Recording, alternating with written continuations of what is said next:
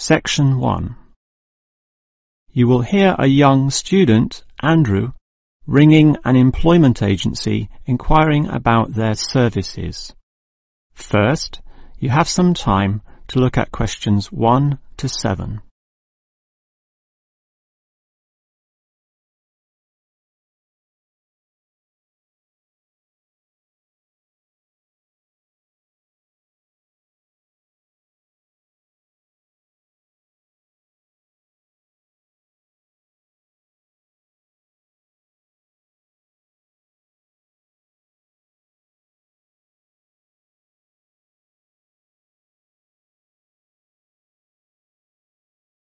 You will see that there is an example that has been done for you. On this occasion only, the conversation relating to this will be played first. Hello, is this the AAA employment agency? Yes. Hi, I rang before. My name's Andrew, Andrew Peterson. I rang you earlier and gave you my personal details. The student's name is Andrew Peterson, so Peterson has been written in the space. Now we shall begin. You should answer the questions as you listen because you will not hear the recording a second time. Now listen carefully and answer questions 1 to 7. Hello, is this the AAA employment agency? Yes. Hi, I rang before. My name's Andrew, Andrew Peterson.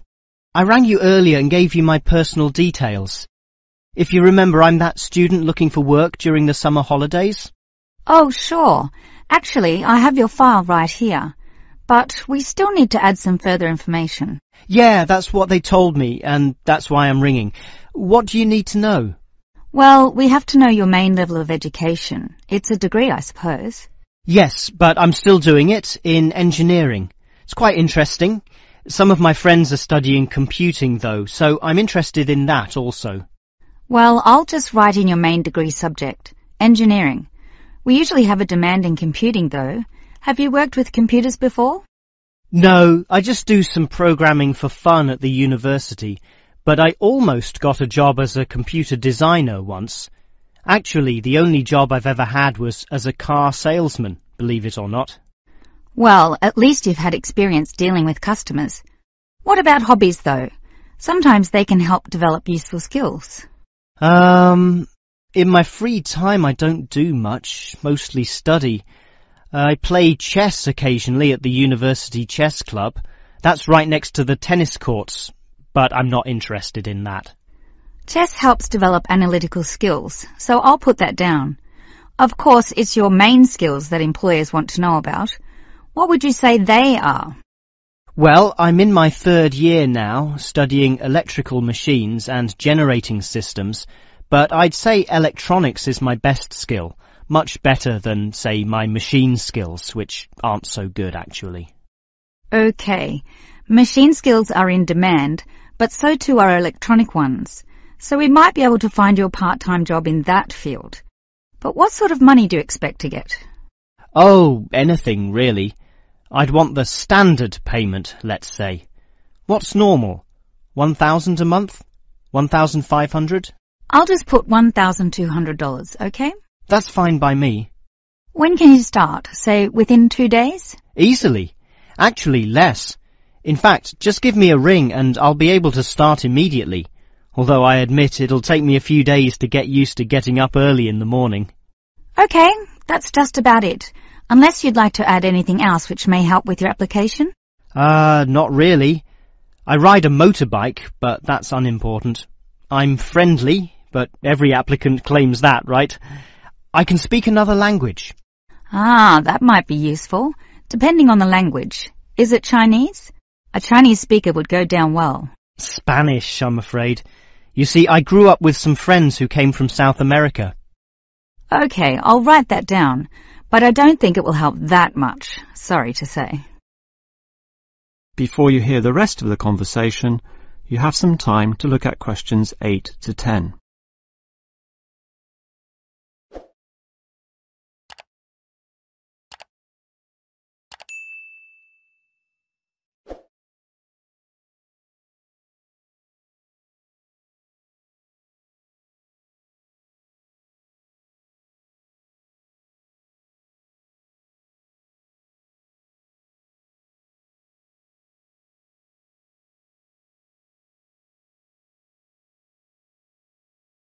Now listen and answer questions 8 to 10. Well, thanks for your help and hopefully I'll get a job soon. But can I just ask one more question? Sure. What basically are employers looking for when they interview someone? Oh, many things. Being hardworking, diligent, and focused on your job is good. But surprisingly, it often means you can't see the bigger picture or provide suggestions which help the company move forward. That requires thinking for yourself, outside the box as they say, and being free of the standard ways of approaching tasks. Employers certainly value that. I guess experience must help though. It depends. If it involved a routine job, one which didn't exercise your mind, it might not mean that much at all. But since companies are basically composed of people, it is important to be able to get along with others. There's no point in hiring someone whom the other employees don't like, right? That just causes problems. In fact, I would say that being friendly and approachable ranks far more highly than your academic qualifications. Okay, and that's all assessed at the interview, right? Yes, and your qualifications, experience, and approach to the job, such as whether you can do different things, work overtime, or do long hours, as needed. But those latter qualities are pretty much standard. What may be more important is based on the fact that things inevitably go wrong. Mistakes are made and someone's got to fix them in a way that creates the least disturbance. People with demonstrated abilities to do this are certainly regarded highly. I see. That's very interesting. That is the end of section 1. You now have half a minute to check your answers.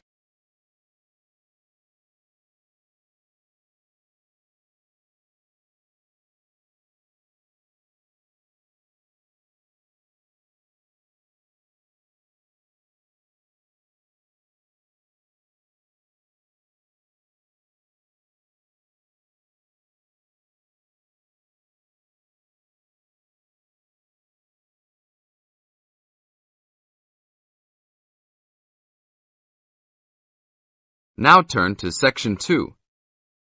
Section 2. You are going to hear a talk given by an international student. First, you have some time to look at questions 11 to 16.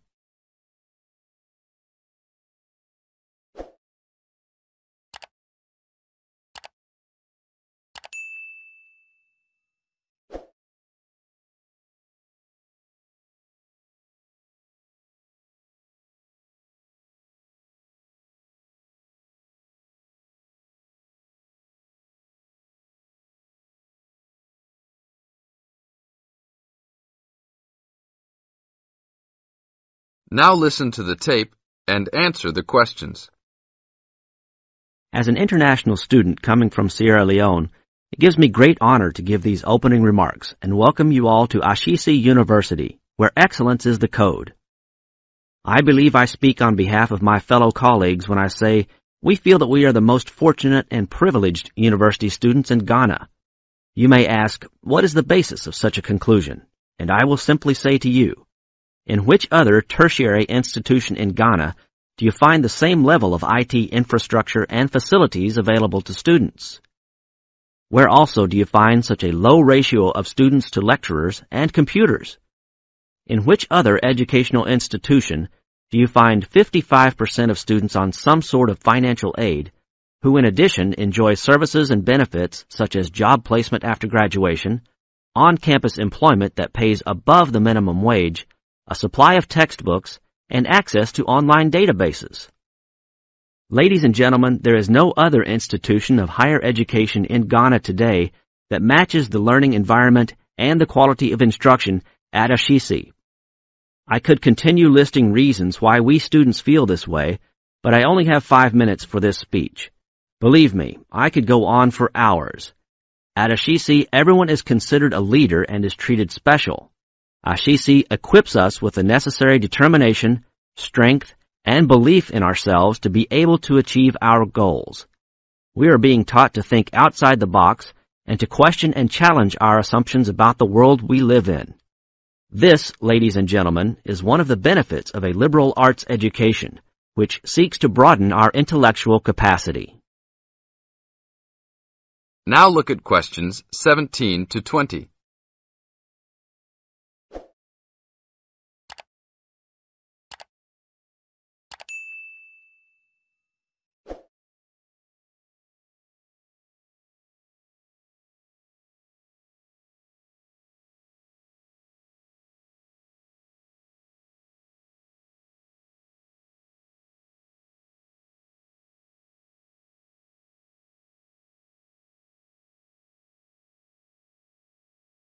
As the talk continues, answer questions 17 to 20.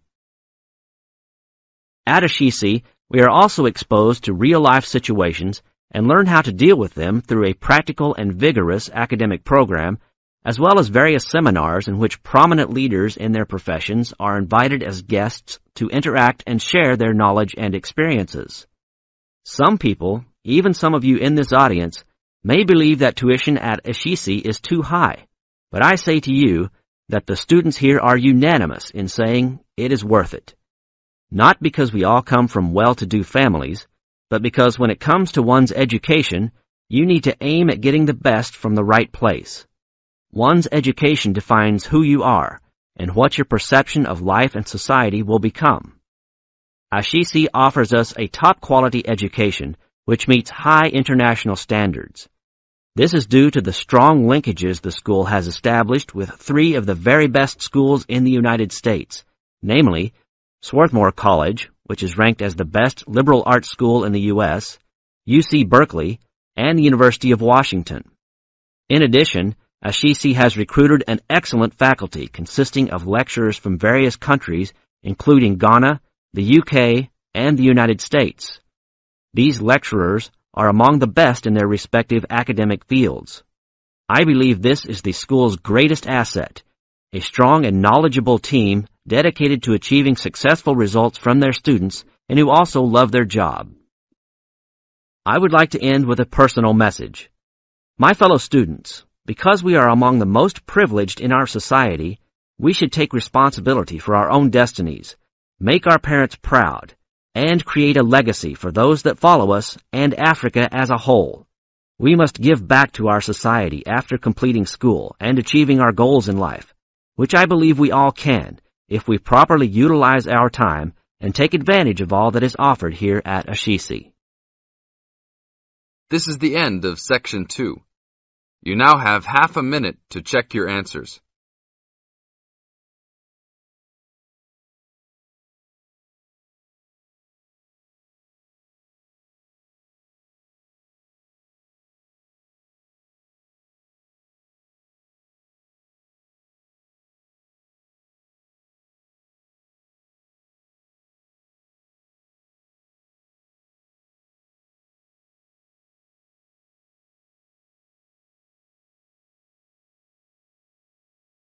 Now turn to section 3. Section 3. You will hear two geography students talking. An older student, called Howard, is giving advice to a younger student, called Joanne, on writing her dissertation. First, you have some time to look at questions 21 to 24.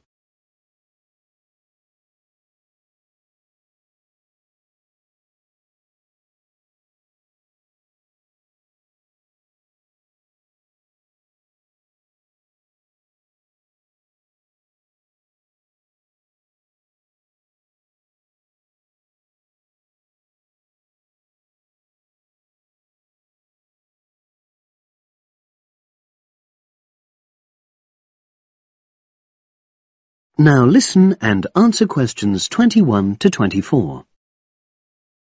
Hi, Howard. I haven't seen you for a while. Hi, Joanne. Yeah, they're keeping us really busy on the postgraduate program. Mm-hmm. But how are you? You'll be starting your dissertation soon, won't you? Yeah, tutorials start next week.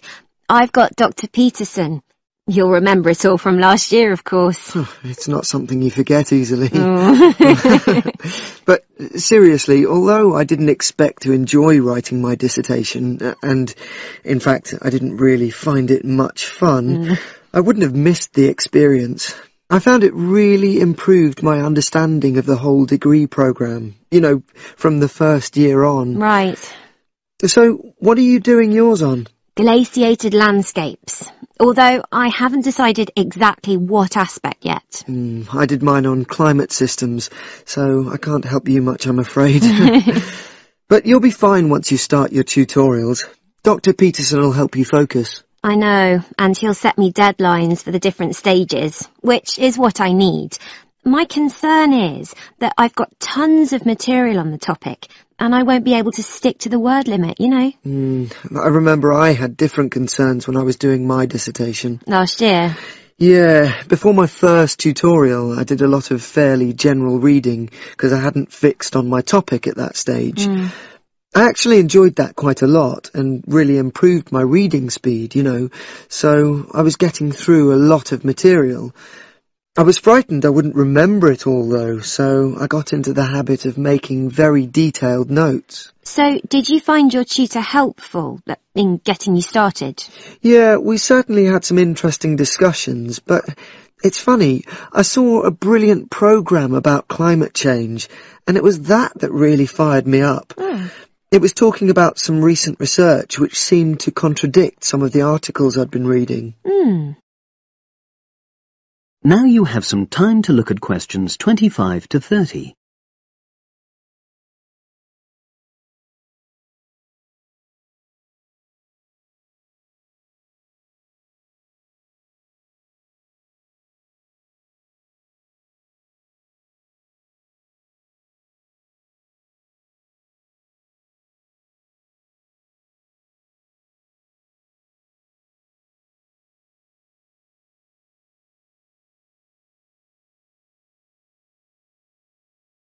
Now listen and answer questions 25 to 30. So you say your tutorials start next week? Yeah. Well, the first month's crucial. You've got to meet your tutor and decide on your focus, but don't become too dependent on him. You know, don't see him every week, only when you want to check something. Right. Once you've got the focus, you've got to get reading. Mm. It's helpful to look through the bibliographies for all the course modules relating to your topic, and get hold of any books you think you'll need. I haven't got much money. I mean, get the books from the library, far better. And I suppose I should prepare a detailed outline of the chapters? Yeah, absolutely. But don't feel you have to follow it slavishly. It's meant to be flexible. Okay. Now, I'm someone who likes to get writing quickly. I can't just sit and read for a month. Not like me then. but if that's what suits you, you know, your natural approach, then you really ought to start immediately and write the first chapter. Right. Now, Joanne, about the library, Mm. it's worthwhile getting on good terms with the staff. They aren't always helpful with undergraduates. I suppose they focus on postgrads more. Mm, maybe. But show them you're serious about wanting to do good work. And what if I can't find what I need?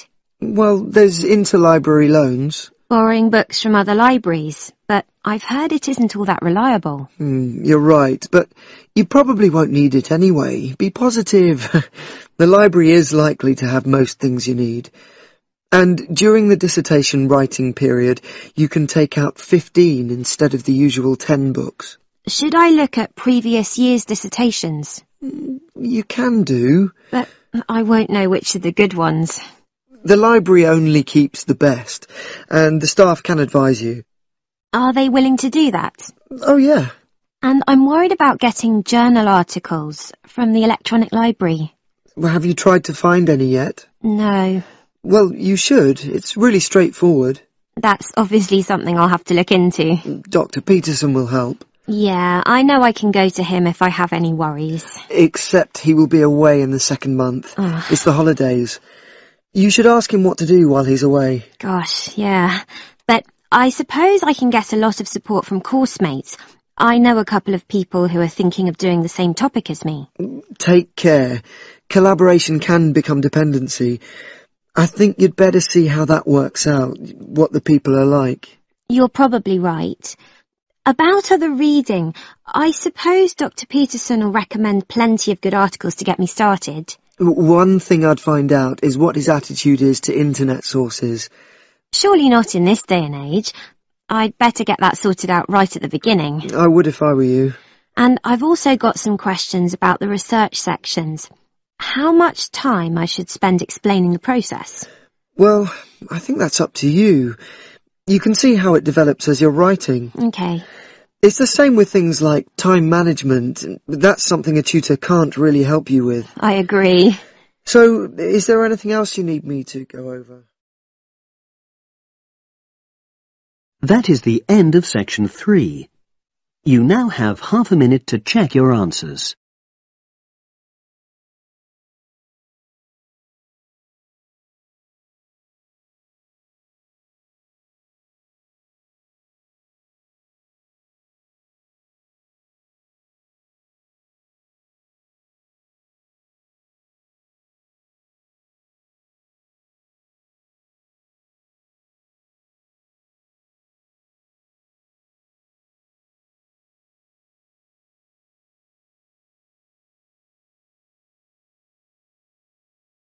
Section 4 You're going to hear a short talk about the banks in Britain. As you listen, complete the statements by writing no more than three words in the spaces provided. Now you have some time to read questions 31 to 40 first.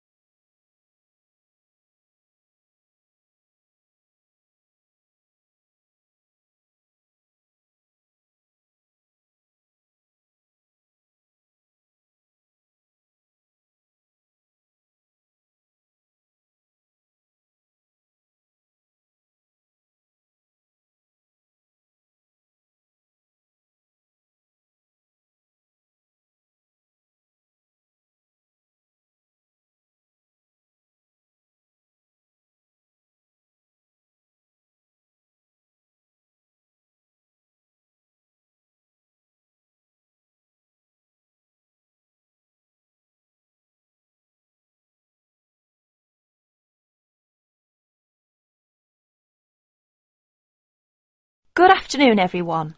Thanks for turning up today to this short talk I'm going to give on student banking. Many of you are unfamiliar with the way banks work in this country, and today's talk should give you a few starting points. Well, as you probably know, you'll need to open a bank account while you're here. The safest place to keep your money is in a bank. Choose one that is near where you study. All the major banks in Britain offer special facilities for students, and will be only too happy to explain how to open an account. The most useful type of account is a current account. You can pay in money received in any form and then draw it out when you need it by using your checkbook. Writing out checks in their name can make payments to other people. If you want to draw out cash for yourself, make the check payable in your own name or to cash. A check crossed with two parallel lines is even safer as it must be paid into a bank account. Payment by cross check has the added advantage that when the person to whom you have given the check presents it at a bank, it will eventually come back to your bank and provide proof of payment. Most people now ask their bank to supply only ready crossed checks. Most banks don't make charges if you keep more than a certain amount of money in your account. However, you shouldn't overdraw on your account. Withdraw more money than you have in without the bank's permission.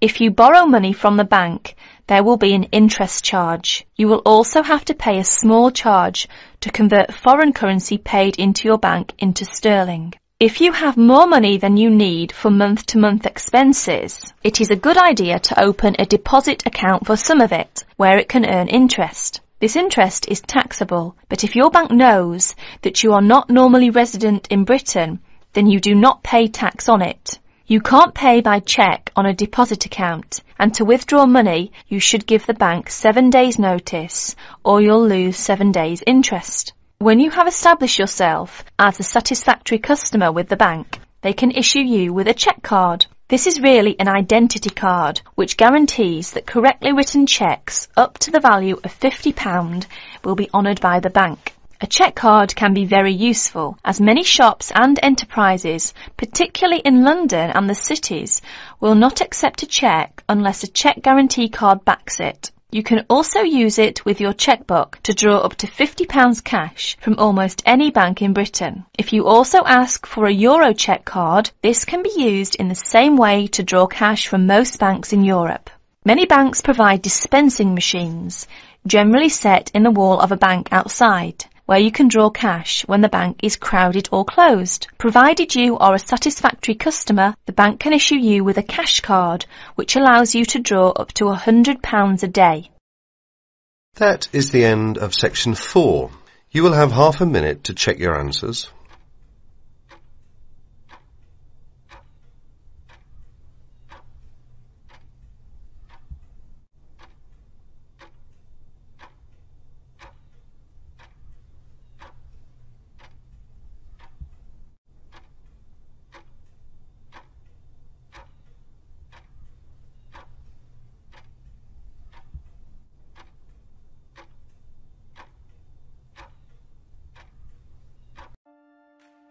That is the end of the listening test.